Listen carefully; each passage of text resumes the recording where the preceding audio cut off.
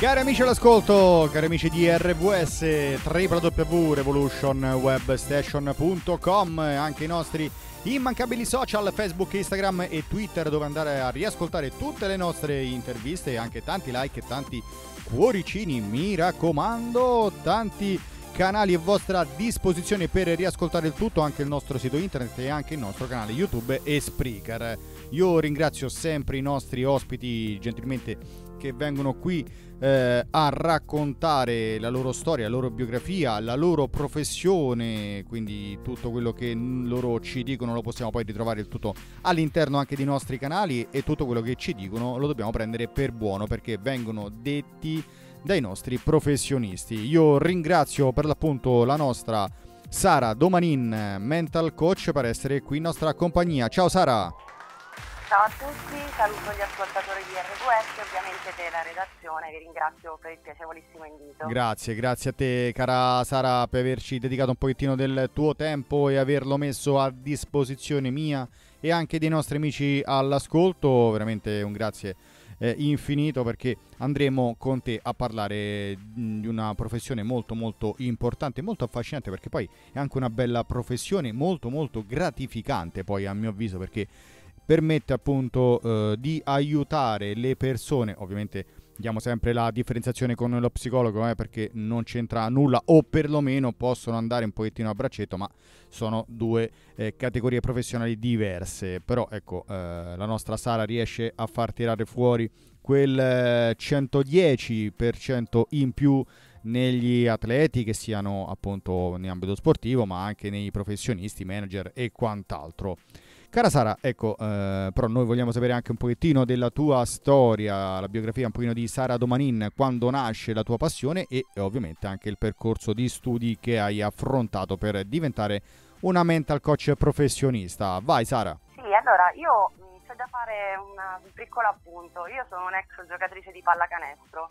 Ho giocato per quasi 30 anni. A fine carriera ovviamente avevo tantissimo amore per questo sport e ho deciso di dare continuità, quindi trasmettendo la mia passione e le mie conoscenze alle giovani leve. E Bene. quindi sono diventata allenatrice. Poco prima del lockdown eh, sono stata promossa come head coach, perché sai, una cosa forse simpatica è che l'allenatore di pallacanestro si chiama coach, che non ha nulla a che vedere con il coach mental coach. Sì. Quindi insomma sono diventata l'allenatrice della Serie B femminile della pallacanestro Antoniana Pescara e poi c'è stato il lockdown. Una piccola parentesi che ho sempre fatto dei lavori d'ufficio che si occupavano di gestione e di supporto del cliente, quindi io avevo soddisfazione nell'aiutare gli altri. È importante dire questo perché certo. adesso diciamo lo, lo, stesso lavoro viene fatto in un altro modo. Poi c'è stato il lockdown. Eh, molte persone si sono abbattute sì. per questa situazione di stop. Certo. Io come sempre ferma non riesco a stare, quindi ho dovuto trasformare il limite, quindi questo ostacolo, in un'opportunità per crescere. Quindi ho iniziato a studiare meglio eh, il, mio, proprio il mio sport, la metodologia del basket e tornavano sempre questi corsi di mental coaching con degli esperti. Quindi che cosa ho deciso di fare? Ho deciso di aderire a un corso del professor Roberto Ardizzi di Pescara e dopo un percorso di studio ho conseguito il diploma nazionale abilitante proprio alla professione di mental coaching.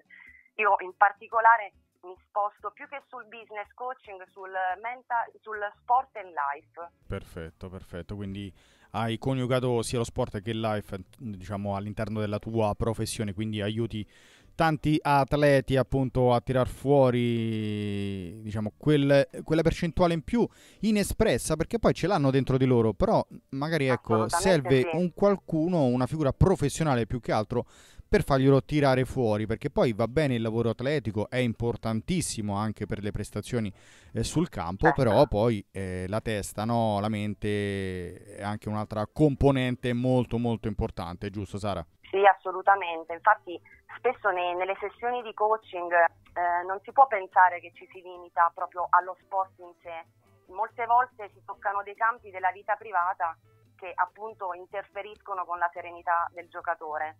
Certo. Il mental coach è proprio un allenatore della mente, quindi eh, aiuta il, l'atleta, ma anche la persona a, ad allenare la mente e indirizzarla verso la giusta direzione. Perfetto. Quindi sicuramente quando si, par- si parla di sport coaching, in realtà noi parliamo anche della vita privata, perché tante volte l'atleta magari ha litigato a casa, certo. ha eh, una motivazione estrinseca, perché magari non è dettata da, da sé, ma è dettata da qualcuno, vo- voler far vedere agli altri che sa fare, vuole dimostrare e quindi nasco- escono fuori tante piccole ehm, problematiche che vanno diciamo indirizzate. Perfetto. Ecco Sara, mh, chi è l'atleta invece resiliente? Beh, la, io credo che il basket sia lo sport perfetto per spiegare la resilienza, cioè nel basket non ci sono mai delle azioni completamente sì. uguali, quindi bisogna reagire in brevissimo tempo a delle situazioni di difficoltà, come abbiamo detto, sempre diverse cercando la soluzione giusta senza perdere la testa. Quindi l'atleta resiliente è sicuramente un atleta consapevole, che si conosce ed è motivato a raggiungere degli obiettivi importanti, mettendo da parte, come abbiamo detto, le interferenze esterne. Certo. Sostiene dei cambiamenti l'atleta resiliente, mantenendo l'autocontrollo, perché come abbiamo detto non deve mai perdere la testa. È un atleta che ha una, alla botta si ria- trova sempre il modo per rialzarsi e trova sempre delle soluzioni differenti. Come abbiamo detto nel basket, le situazioni di gioco sono sempre, non, non esistono situazioni uguali, quindi di fronte a una eh, difficoltà deve trovare nel minor tempo possibile eh, la soluzione giusta. Quindi l'atleta resiliente è anche un atleta autoefficace, la resilienza è collegata all'autoefficacia perché è, una, è capace di rendere efficace eh, le proprie potenzialità, abilità, capacità, quindi le organizza, le gestisce e le sfrutta al meglio per appunto raggiungere i propri obiettivi. Perfetto, perfetto, sei stata chiarissima cara Sara. Prima abbiamo anche accennato un pochino alla, alla, motivazione intrinseca. Ecco, io per l'appunto vorrei chiederti, la motivazione intrinseca nelle atlete, com'è? Come viene, eh, tra virgolette, sì, passami eh... il termine, curata, ecco, eh, da parte tua con la tua figura professionale? Allora, in realtà eh, non è il mental coach che motiva, sì. cioè la motivazione è proprio perché intrinseca, o anche detta 3.0, è eh, il motivo per cui fa, compiamo delle azioni, ci indirizziamo verso una determinata direzione quindi il perché che viene da dentro. Come dicevamo prima, non è estrinseca, quindi dettata da un genitore che vuole che il figlio riesca, eh, una dimostrazione a qualcuno fuori, è una motivazione nostra dentro che ci dà po- proprio la forza di respingere tutti gli ostacoli che incontriamo. Quindi come vedi eh, parliamo sempre di cose strettamente collegate, resilienza, autoefficacia, motivazione, Ehm, quindi è quel comportamento dell'individuo verso uno scopo ben preciso. Ben preciso. Nella femminile io, ho, ho, io sono, ovviamente ho giocato tanti anni e ora alleno e sono molto nel settore femminile e devo dire che essendo considerato il femminile dilettantismo a qualsiasi, in qualsiasi categoria, esatto, sì. ovviamente quello è proprio l'emblema della motivazione intrinseca, cioè nonostante non abbia tutele, nonostante il mio ruolo non sia riconosciuto, non ho dei compensi adeguati, non ho misure previdenziali, vado avanti. Quella è motivazione. Solitamente le ragazze verso i 20 anni, diciamo con una motivazione un po' debole, tendono a, a, a finire proprio il loro percorso sportivo e magari si dedicano allo studio, a quello a quell'altro. Invece le atlete con una forte motivazione eh, vanno avanti nonostante queste, ammetto, grandissime difficoltà, perché come fare sport per 20 anni, 30 anni come me ed essere stati, sai, come a dormire, io dico sempre, come se fossi stata 30 anni in un letto senza aver prodotto nulla. Certo. Lì c'è una passione infinita, la voglia di superare i propri limiti. Perfetto, perfetto. Sara, ecco, tu ovviamente sei una professionista accreditata, quindi una mental coach eh, diciamo accreditata, quindi ecco il coaching che è la tua eh, professione, la tua materia, cos'è e come lo applichi appunto nel tuo ambito? L- lo applicate ecco come, eh, in ugual modo tutti i professionisti che siete oppure ecco ognuno ha la sua eh, metodologia da applicare? Allora ci sono degli strumenti ben precisi. Ovviamente ammetto che non è facilissimo essere sia trainer o diciamo allenatore di pallacanestro sia mental coach per svariati motivi. Un motivo è per esempio che l'allenatore deve vincere.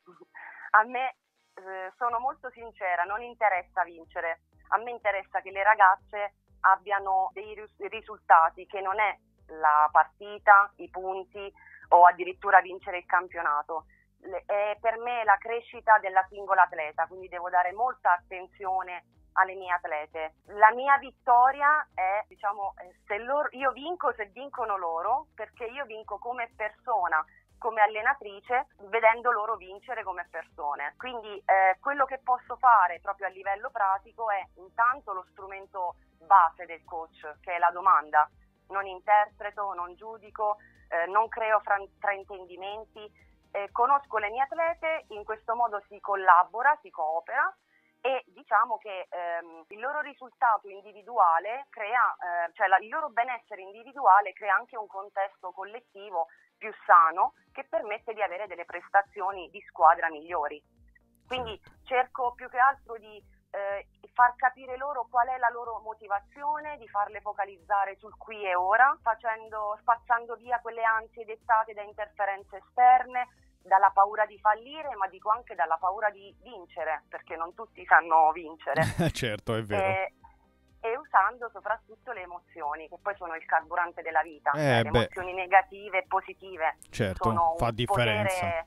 Esatto, esatto. È Quindi vero. insomma tutto questo serve a migliorare in realtà la qualità della vita, cioè attraverso lo sport loro migliorano proprio la qualità della loro vita e devo dire che il, primo percorso di, di, mental coaching lo facciamo noi coach, perché mh, c'è un percorso di eh, auto-coaching eh, in cui appunto tu conosci te stesso per capirti poi anche in relazione con gli altri è una cosa che mi appassiona molto e che io consiglio davvero a tutti. Come dicevi prima, quando poi ci sono dei problemi che vanno al di là, quindi dove è utilizzata la figura dello psicologo, allora lì il mental coach si deve fermare perché non è più sua competenza. Perfetto, perfetto cara Sara, grazie veramente del tuo contributo, sei stata molto molto preziosa e appunto ti ringrazio Grazie per essere stato qui su RVS. Prima di eh, salutarti e ringraziarti però Sara vado a dare i tuoi contatti, i contatti di una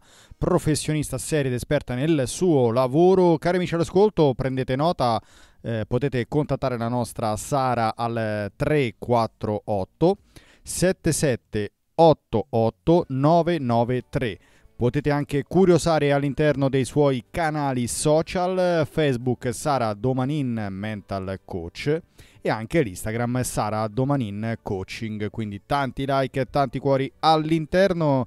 Grazie Sara per essere stata qui con noi. Grazie a voi di cuore. Grazie, grazie a te. In bocca al lupo per tutto Sara. Viva il lupo. ciao, ciao, ciao. Amici all'ascolto, grazie particolare anche a voi, mi raccomando, state sempre in nostra compagnia. Ciao!